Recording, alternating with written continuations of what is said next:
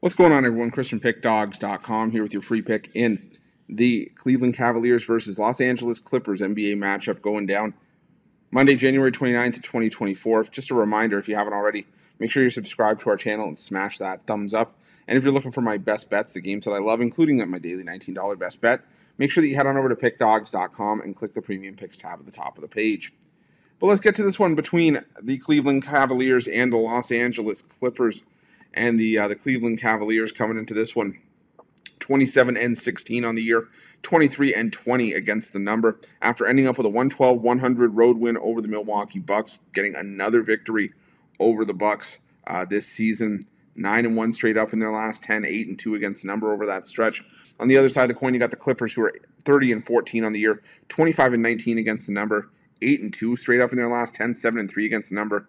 Winners uh, and covers of 5 in a row after a 115 to 96 beatdown victory over the Boston Celtics. And you know the Los Angeles Clippers just looked really good in that game. The uh, the Boston Celtics had no answer. They took their second loss at home of the season.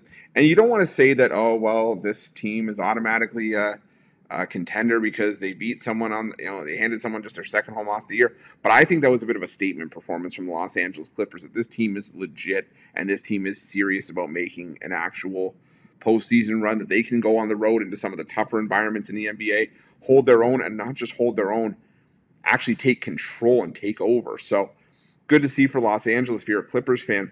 The Cavaliers, you know, this is a Cavs team that has been dealing with injuries all throughout the season.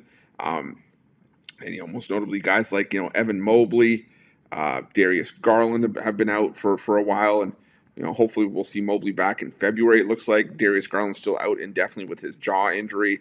Um, Ty Jerome now out indefinitely as well, as well as Tristan Thompson getting suspended.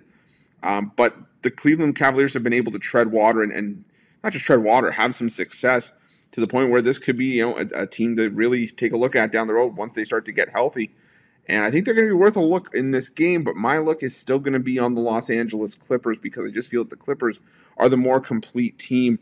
The only concern that I think you ever have to have with the Los Angeles Clippers is will guys sit? Will guys be on the injury report? And the only guys I'm seeing on the injury report right now are Ivica Zubac and uh, and Moussa Diabate. Not not your you know your your big core of guys like you know Harden, um, Kawhi, and Paul George.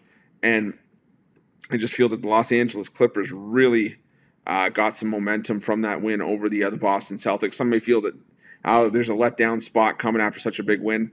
I don't think so. I think this one is uh, is Clippers for me in this one. I think they get the job done on the road, and that's going to be my free pick.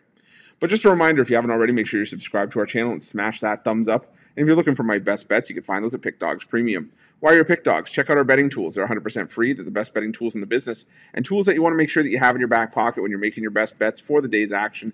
And while you're at our YouTube channel, make sure you have notifications turned on so you can be the first to be in the know when the newest content drops here at Pick Dawgz. Thanks for watching. See you guys soon.